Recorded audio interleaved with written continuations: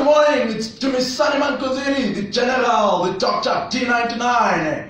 We are live once again from Johannesburg, the Wanderers Cricket Stadium, the Bull Ring. It is Pink Day, pitch up in pink. It's South Africa versus Pakistan for ODI. South Africa lead the Momentum ODI series 2-1. Let's go down to Brian. He's got a chat with Kagiso Rabada. Let's hear what he's got for us.